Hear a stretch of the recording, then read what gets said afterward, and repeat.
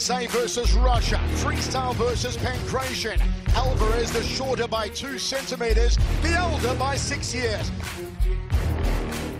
Ladies and gentlemen, this match is three rounds of five minutes in a one championship lightweight world Grand Prix quarterfinal.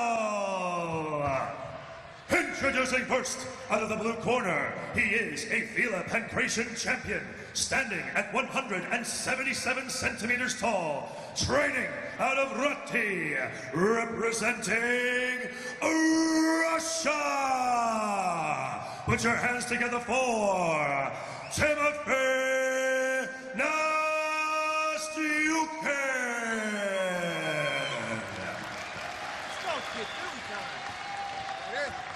And now, introducing his opponent out of the red corner, he is a four-time lightweight world champion, standing at 175 centimeters tall, holding a mixed martial arts record of 29 wins and six losses. Training out of Ricardo Almeida BJJ, representing the United States of America.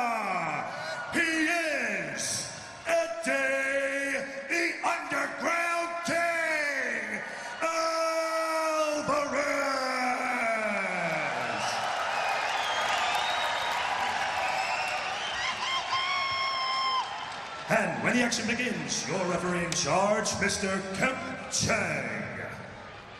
Watch on the don't hit watch lot of the don't grab the. Okay, touch the drop. Got the corner.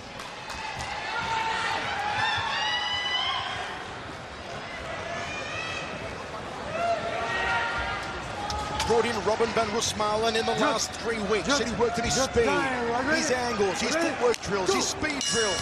Predicts he'll finish Nastyukhin inside of two rounds. Do not sleep on Timofey Nastyukhin. The man possesses some extraordinary power. But can he land on Alvarez here? For a chance in the semi-finals of the lightweight Grand Prix to meet Lowen Tynanes.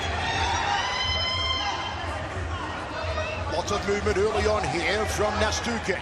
Stukin was able to connect with a nice little straight right hand. Wait for Eddie Alvarez to try to blitz in, throw those combinations, and then get out. When he blitzes in, that's going to be Nastyukhin's chance to land with that big right hand.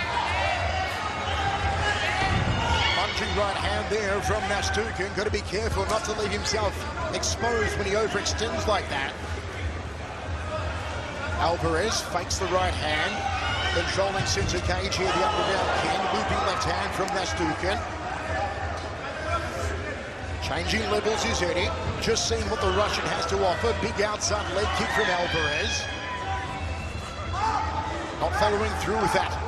Right hand there, Nastyukhin. Goes for the outside lead thigh of Alvarez. Alvarez circling off to his right. Chance go up for Eddie. They love him here in Japan. Made his name competing in Dream.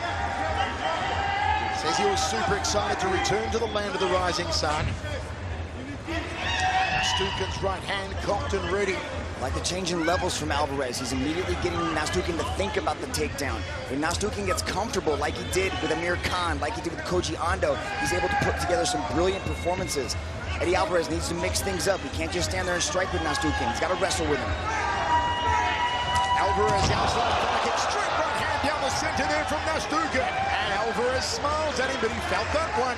Nice little catch to the right hand from Nastyukhin. Perfectly placed catch and count. Another good right hand there from Timofey Nastyukhin. Alvarez not wanting to give up center cage here. Cutting some little angles is the underground king. Two minutes 45 remains. First round of three of this lightweight quarterfinal. Lots of instructions coming from the Russians in the corner of Nastyukhin.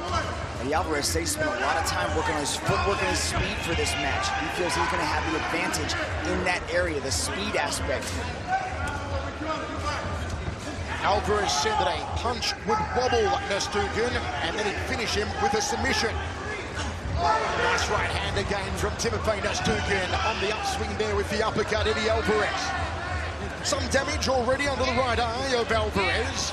Nothing too serious, though, for the Underground King. A punt kick there from him.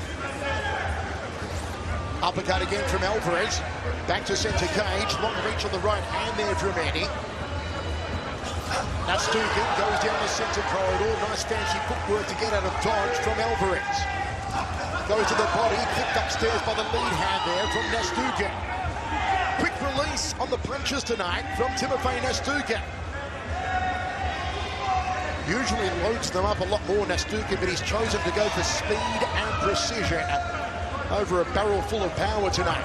You see, when Eddie Alvarez tries to get nice and tight, that's when Nastyukhin is able to land that right hand. Alvarez fakes. Nastyukhin, good front kick. Dug the balls there. Feeds into the midsection of Alvarez. That's what you want to do when you throw the front kick, splay the toes out, point the balls of the feet out and drive it into the stomach, into the chest of your opponent. Body shot there from Alvarez. Just over a minute remaining on Eddie Alvarez's one championship debut. Oh, flipping left hand there from Nastyukhin. He tagged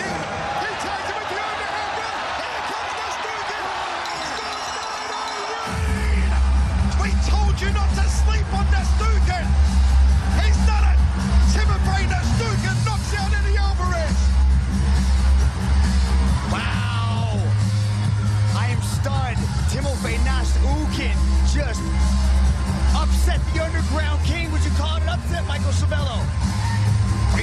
not to sleep on Nastyukhin. There's a reason why he's got the word nasty in his name. He's a beast.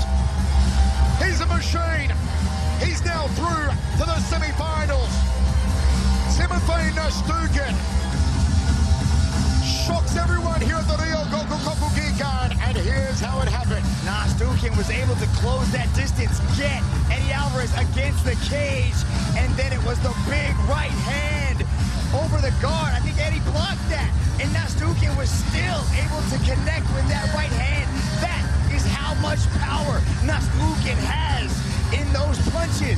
It is a dangerous game plan to stand and bang with Timofey Nastyukhin. Look at the right hand, smack bang to the side of the head of Eddie Alvarez. Nastyukhin just unloading on a hapless Alvarez. These pulverizing Alvarez is out of the lightweight Grand Prix. Now Nastyukhin will meet Lowen Tynanes in what will be an absolute grip snorter. Let's go to Dom Lau. Ladies and gentlemen, your referee, Mr. Kent Cheng, has called a stop to this contest after 4 minutes and 5 seconds in the first round for your winner by way of technical knockout, Timothy